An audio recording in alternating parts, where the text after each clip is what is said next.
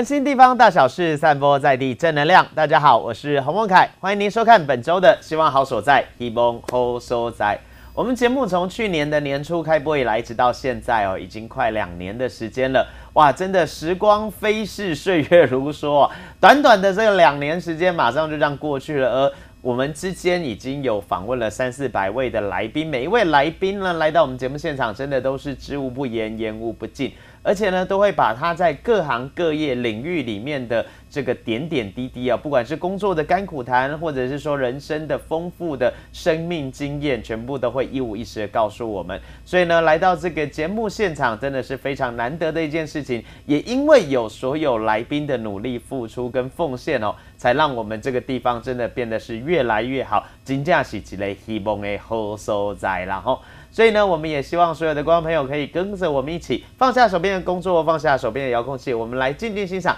这个礼拜又为您带来哪些精彩的专访呢？好的，呃，提到这个现代人啊，其实很多的文明病也都很多人讲想说每天都一定要抽出时间来工作，但是好像呃。真的要哎来运动了，但是真的要去运动好像不是那么的容易啊。但是现在呢，很多人非常喜欢借助，譬如说像瑜伽课程来松弛筋骨，来让自己全身放松了。今天呢，要为您邀请到一位美女哦，这个老师呢，她特别要来现身说法，来告诉大家说，哎，瑜伽课程的一些呃有益人体身心健康的部分。这让我们来欢迎，这个是我们的伊莎老师来到我们节目现场，他也是我们新方姿的这个瑜伽教室。来，老师你好，你好，你好，你好。是，哎，伊莎老师可不可以先跟我们观众朋友来分享一下，您接触瑜伽多久的时间？我接触如果以不是当职业的时候，其实应该有十年了。对，十年，对，就是从学生的时候，没有啦，没有，没有那么年轻，没有，没有。我学生时代，大学的时候就有接触瑜伽了。OK，对，但是就是以一个很肤浅的角度，就是想要减肥。现在的女孩子都永远减肥都是一个课题。对，那就是从接触它开始，就是为了瘦身，然后慢慢的做到，慢慢慢慢慢慢练习，然后觉得有兴趣之后，才慢慢的发展变成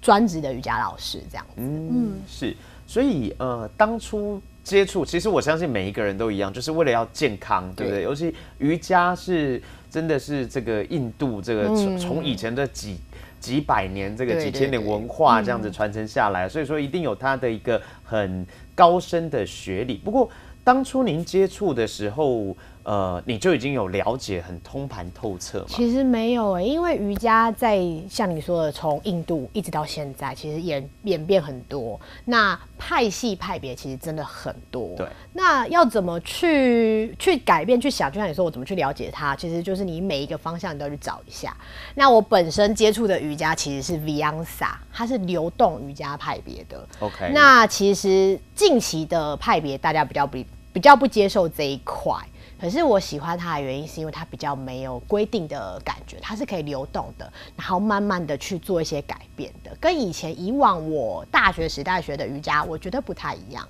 嗯。哼，嗯，好，那肤浅的请教，那个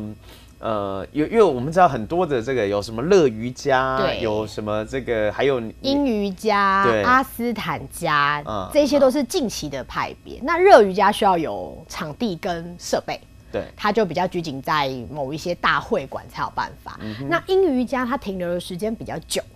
那阿斯坦家我觉得算是近期这一两年比较多人对比较红的，因为他比较会做一些你最近应该有看到很多脸书上倒立啊，手倒立对，或者是 handstand，就是那种比较是。呃，炫耀他的一些技术，但他有他的好处。嗯，可是这个不是每一个人都可以做到，因为毕竟我们可能身体的训练如果不够，你不能去做这样子比较进阶的方式。对。但每一个流派有每个流派的风格，那就是找你自己喜欢的。或许有的人喜欢一些疗愈的，嗯，他就喜欢静静的深呼吸、吐气，它其实也是一门课。对，不太一样。是，嗯，对，所以说这真的是要循序渐进了。所有观众朋友，真绝对不要说看到人家啊脚可以搬到头上了，你就你就觉得说一步一就可成。其实我相信，没有专业训练或是没有热身的情况，可能连老师都不一定会做那么高难度的动作，对，对不对？嗯，好，那呃，伊莎老师就是说，您从这个真正变成老师是什么样的因缘际会？因缘际会，其实我原先是算是工程师，就是 PM 科技业的。嗯，那我因为身体的受伤，对，是椎间盘突出，就是俗称的骨刺，那它发生在四年前，嗯其实算是年轻人不应该得的。对，对，就是听到有人跟我说，哎、你讲骨刺，大家都傻眼，说，嗯，你你这不是老人，对，所以我那时候因为这样子的原因，导致我的左半边是麻痹的。嗯哼，对，已经严重压迫到神经了。那因为我中间因为工作的时候，就像你说，现代人因为一直工作很忙，很少抽空去运动。嗯，那我因为工作太忙碌，所以导致瑜伽中断了，然后就有产生这样子的问题。如果我当时有持续的做这样的运动跟保护的话，或许我可以不用做到开刀这件事情。但因为实在是太严重了，所以我就做了开刀这个动作。开完刀之后，医生跟我说，因为你年纪还很轻，所以他说希望我可以借由运动，让自己可以强健你的身体。因为椎间盘突出一个原因，就是因为我们的人的核心跟后背没有力气，都靠你的脊椎是，在动。因为其实现代人真的很常会很少运动，所以你的肌肉其实都已经它已经软化掉了。对对，所以它就变成说我那时候这样子的因缘机会下，我就觉得好，那我回去重新开始上瑜伽课。嗯哼，可是因为你知道开刀过的人总是比一个健康的人的体力来的差。我刚开始上瑜伽课的时候，其实非常吃力，是，我很多动作是做不到的。嗯那后面是因为我接触了空中瑜伽，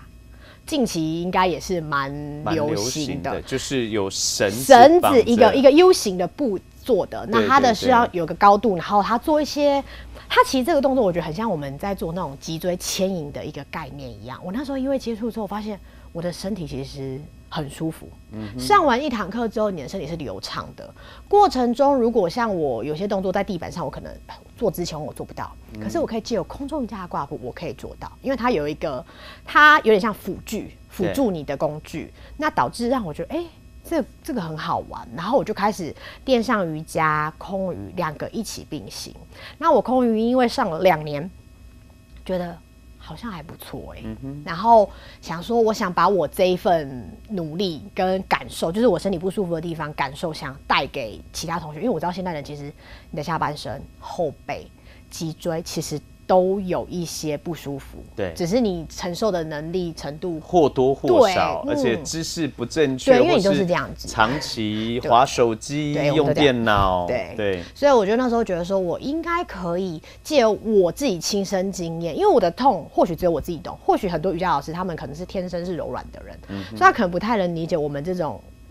痛的人的痛苦，那也是我的瑜伽老师点醒我。他说：“那不然你去当老师，或许你可以帮助这一块的人。”嗯哼，对，然后我就觉得好像可以，所以我就开始先了考了空中瑜伽的证照。那我们淡水新方志瑜伽二点零，其实在两年前算是淡水第一座，从关渡第一座空中瑜伽，，OK，就是我们的老师，我们现在资深的老师 Kiko 老师，他带进来到教室里面的。那因为他的训练，让大家其实很喜欢空余这个活动，不管是男生女生。年纪大的、小的，其实大家都非常喜欢这个运动，因为它很有趣。嗯，那我就考了瑜伽证照、空余证照之后，开始授课。授课完之后，授课了两年，觉得好像有些不足。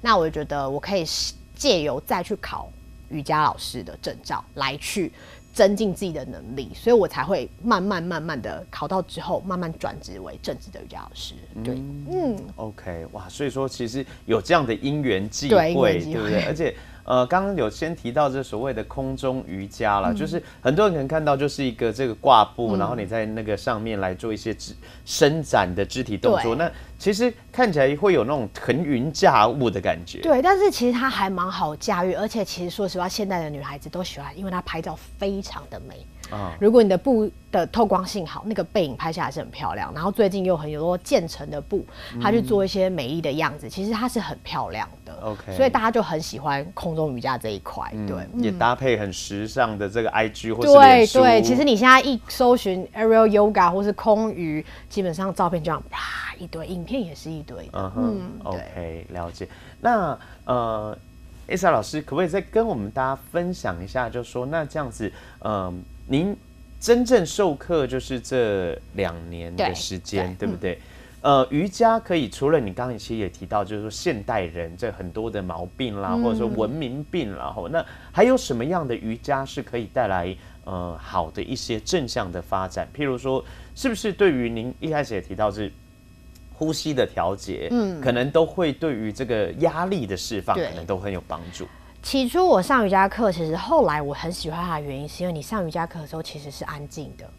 你可以跟自己内心对话。对，你可以听听自己的吸气跟吐气，因为现代人的呼吸都非常的短促，很短，急促，急促，然后很短很短，所以你的身体里面你没办法好好的深吸跟深吐的话，你的交感跟副交感神经会失衡。嗯，这一块的话，如果你的是稳定的话，你的情绪就不会焦虑了。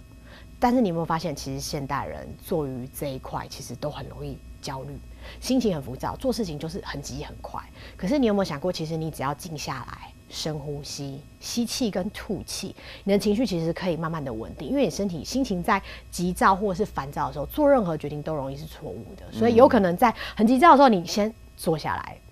吸气吐气，其实我觉得再去做决定会是好事情。所以瑜伽它会放松，会让人家心情愉悦，我相信这个是真的可以的，只是说有些人想要快速的。达到一个效果，可是他，我觉得他有点像中医啊，他是慢慢慢慢的调理调理的感觉。对，你要慢慢的喜欢，因为蛮多很个性很急的，不论是女孩子或男孩子来上课的时候，其实你叫他坐在那里做十分呃五五十个呼吸，做深呼吸，你其实可以看到他会一直这样子。扭动，对，他会扭动，因为他没办法静下心。嗯哼，你只要看很多呃喜欢那种跑步啦，或是一些健身的人，你叫他盘腿坐下来，你只要看到十个呼吸，你就看到一直这样子。其实是不自觉的，这是正常的，因为现代人的生活步调是非常的快速的。对，所以其实瑜伽练起来不一定要练到把你的脚。放在头上，嗯，或是将你的脚可能放在天空，就是变成一些特技的概念。对，其实我不是一个体位法很强的老师，而是我觉得我可以用我的声音跟呼吸，让学生可以呈现一个放松的状态。因为我觉得这是现代人最需要的一个动作。嗯，对，没错，现代人其实真的有了手机，或者说这个网络资讯爆炸时代啊，你叫他坐着，然后。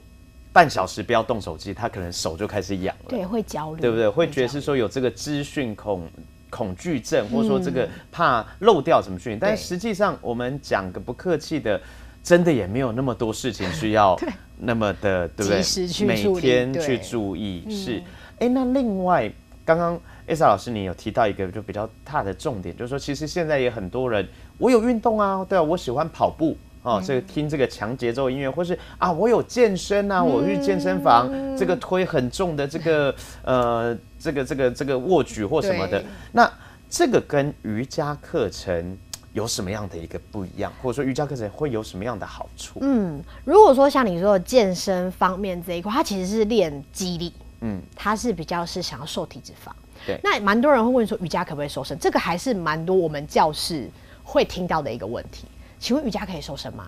对，学生都会说瑜伽可以瘦身吗？那我其实常常回应学生或是脸书上的群，其实我都会讲一句话：其实瑜伽不会瘦，嗯，它只是把你的 body 变成 fit 而已，嗯，变成有型的。你的体重，说实话，我听到蛮多学生跟我回应说，其实上了瑜伽课之后，他胖了啊，因为。这样讲虽然说对于我们好像不好，可是原因是。因为你运动完这一段好吗？这样怕没关系，不会不会不会不会，因为你瑜伽你会觉得你运动完就去吃东西，嗯哼，但是你其实瑜伽完之后还是不能大量的吃东西，是。对你还是要简单的该吃的东西吃就好了，不要你上完一堂瑜伽课觉得我流很。流很多汗了，我就吃炸鸡，嗯，我就吃甜食什么，这些对你练完那其实根本没有什么。对，营养的补充其实非常重要。重要，你可以可能吃一根香蕉，或是喝豆浆、牛奶这些都可以，但是你不要就是觉得我运动一个小时我就已经运动过了。有些人是有这个错误的观念，所以你其实还是要正确的饮食跟正确的运动。那瑜伽其实它是一个搭配，像你刚刚说的，跑步的人，说实话，他们有些人的筋骨还是很紧的，你叫他拉筋，对他们来说是很辛苦的。但是其实蛮多运动员会搭配瑜伽，原因是因为它其实可以让你自己运动的或是比赛的效果更好。所以你要适时的去做拉筋跟放松，因为你的肌肉不能永远呈现在一个嗯紧绷的状态。如果你呈现紧绷状态的话，你会觉得很累很辛苦。对，嗯，所以还是要尝试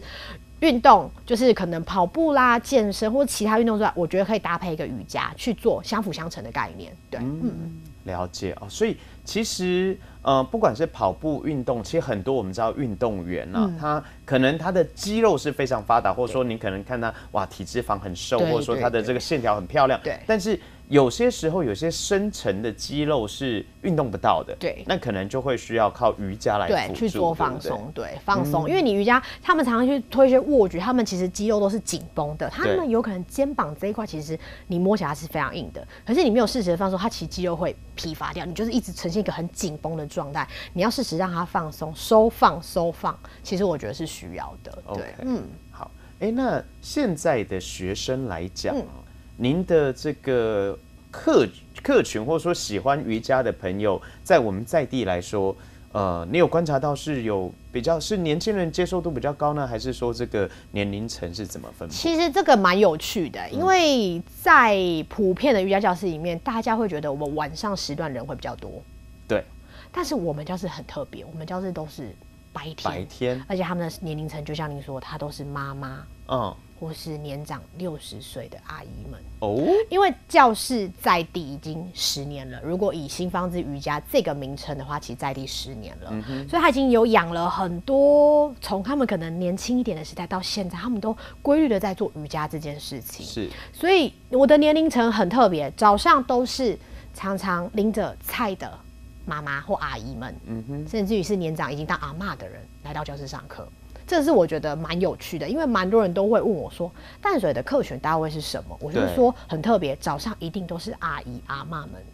也比较有时间，他们就是规律的，几乎一到六的早上九点，他们都会准时到报道，他就把这里当成像一个家，嗯哼，来这边报道，跟你聊聊天啊，我给阿里安诺，就是会跟你分享一下他家里的事情。我觉得我们教室比较像一个交易厅了，我就感觉就是大家是朋友的概念，去做互相的了解分享。例如说，他可能一个礼拜没来了，其实我们都会及时的用 line 或是讯息说。阿姨，你怎么没来了？是不是怎么了？他说：“哦，我出国啦，或是有些事情在忙。”这样我们都会担心他们怎么都没有来呢？对。那晚上的客群其实就是上班族，完全就是上班族。嗯，太累了，有的是住台去在台北上班，回来到淡水很晚了。那我们教室课程其实最晚都是到八点二十到八点四十。，OK，对，因为大家下了班，其实很想要运动，对可是不见得说一定要跑去健身房，因为可能要跑步觉得很辛苦，可是就来到教室上一堂瑜伽课，流全身流汗。然后再回去洗个澡，他们都会说很好睡，很好睡，很好休息。对，所以我们年龄层其实很有趣，就是白天都是真的就是不上班的阿姨妈妈，然后一起上课，然后晚上就是完全都是上班族，他们基本上就是上班很累，需要得到一个瑜伽练习放松的机会，这样子。嗯，那男生现在接受的程度高吗？这个还蛮有趣的。嗯以前教室过往男生不多，但是因为后来，因为我们教室下有一个男孩子，他就是因为跟我的状况类似，就是嗯腰椎这边的有一些下背痛的问题，所以医生建议他说，除了做一些物理治疗，让他来上瑜伽课。那他也因为这样就在教室询问，然后他就从暑假到一直上到现在，嗯哼，他就是规律的上。那可能因为有一个男生的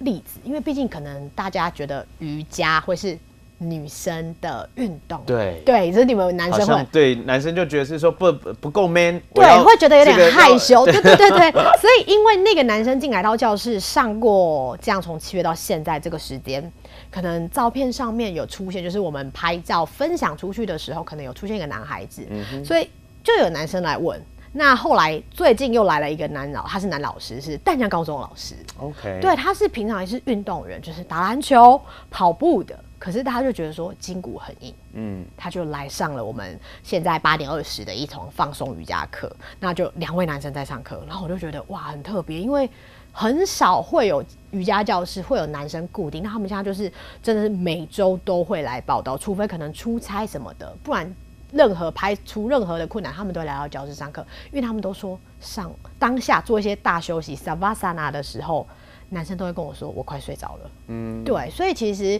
男生的接受度，我觉得我们教室慢慢有那个兴起来的感觉。对所以不要觉得害羞，男生不要觉得害羞，其实瑜伽对你们是好的。是，对我相信啦，就是这个对于这种运动，对于所有的人都是好的运动，啊只是。呃，可能男女之间的这个性别，有些觉得男生觉得说啊不够 man，不过只要回想一下，真的在印度我们看到的那些瑜伽大大师，他们都都是是男性，对对，所以说真的啊、呃有益身心健康，我们大家都可以来开放来尝试，然后。哎，那这个我也想要说，再请教，就是您自己本身这样子到现在练习了那么多嗯哈、那我知道是说我们新方志这里也有结合公益的活动，对，我们有？结合公益的活动，所以说，像今天有带来一个照片，对这个照片是，哎，是不是可以来帮我们分享一下？哇，这很特别，是户外的瑜伽对课，对对，哼这是我们教室之前我们就是我们一直很想要做公益啊，因为基本上我觉得瑜伽结合公益是很好的事情，嗯因为你可以把你的所学带给。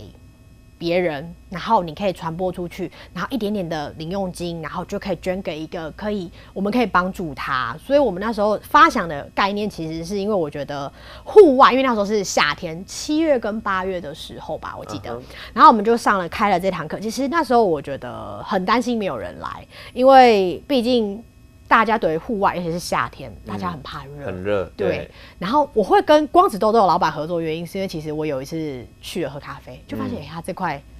位置很棒错，哎、他也是我们之前有有。访问过来宾，对，对，所以我就觉得这个地方很棒。嗯然后我就跟老板聊天，我说：“老板，请问一下，如果我要跟你租借这个场地的话，对，要怎么去算？”他就说，他就很很 free 的说：“没关系，不用。”啊，你只要你们有消费一杯饮料跟咖啡就好了，嗯蛋糕他的蛋糕跟饮料就可以了。然后我就觉得老板人真的非常好，所以我们就揪了一个礼拜一的下午，嗯然后就找了学生，然后跟有两位他们就是自己看到活动的人来报名，一起到这个户外去做瑜伽。那因为场地比较小，其实我们那时候限制是六个人，是，然后大家就开始做一些瑜伽动作，因为户外瑜伽就是要让你的心往上打开。那因为你没访过他，他们那个地方很特别，就是一个一个框框框起来，觉得很美。然后夏天大家就会说很热，可是大家一到那个地方之后，觉得哎、里就面平静了，而且整个嗯风是凉的，嗯，对，不会觉得说好像很热或什么的，心就静下来，然后做完一个小时六十分钟大家都觉得非常舒服。所以我觉得我会最近期，我那时候也一直在想说，可以推广这种公益的瑜伽，跟在地的咖啡厅，不论是它小小一个区块。我们可以三五个人做一堂瑜伽课，然后可能饮用它的饮品或是吃它的甜点。其实我觉得这个对大家的身心里都是放松，然后我们也可以把我们额外的金额捐给需要的人，不论是猫猫狗狗或者是一些小孩。例如说像现在要过年了，我们可能可以捐给一些慈善团体，给他们有一些可以吃到年夜饭啦，或者是一些小东西。其实我觉得这都是我们想要做的事情，这样子。嗯，是哇，这真的是看到每一个人，这个应该是做完了，对然后大家一起合照，跟老板一起合照，对，啊都是非常的这个身心灵很满足对，就是觉得很快乐。对，连小朋友虽然说他只是在旁边动来动去，但他还是觉得很开心这样子。嗯，是哇，真的是非常有意义的一个活动哦。而且其实瑜伽真的现在想起来，让我们觉得最难得的就是它其实不用任何的器材，对只要一个瑜伽垫。对那这瑜伽垫可能网络上买从几百块，应该是一千块以内就可以买到很不错的瑜伽垫，所以你就可以来。来来做，当然当然，这个一定是要专业的老师来带领。然后，那节目时间的关系，最后呃也请教一下伊莎老师，说在近期内有没有什么相关的计划啦，或想要再持续推广的部分我？们近期的计划就是我们想要推广亲子瑜伽。啊哈，亲子这一块的，因为暑期这时候我们有开过一个可以带孩子来到教室上课而已，就是妈妈运动，因为我们教室的空间算是比较宽广的，嗯，所以我们可以让小孩子在旁边玩他们的玩具。那我近期就是有去研习的亲子瑜伽这一块，我觉得亲子可以带给妈妈跟小孩有不同的领域，就是让他们可以身心一放松，因为现在小孩子有些的个性差异很大，对，因为可能在认知上面的一些不同，然后手脚学习上面可能会比较慢一点点，或者是情绪管理上比较不稳定。那我希望我们教室之后可以推广就是亲子，然后让小朋友去做一些抓握啦、学习，然后或是一些群体的生活。我觉得这是我们教室将来想要传达跟表达的。对亲子这一块，嗯，对啊，感觉很不错，因为有些小朋友可能他稍稍微内向，对，也许可以让他放松肢体动作。那有一些小朋友太过于好动，对，我们可以让他平静，可以让他平静下来。对哎，这感觉是家长应该会很喜欢，尤其是可以让小朋友放电的地方。我觉得这是小放电，因为妈妈们最辛苦的地方就是小孩子 永远电用不完没完，错，是。好，那这就是我们今天新方知这个瑜伽教室二点零啊，那也在我们淡水已经是一个老字号的瑜伽教室，现在来到我们节目的是伊莎老师，那也告诉大家真的专业的瑜伽课程的一些好处跟用心。我们休息一下，稍后再回来喽，感谢。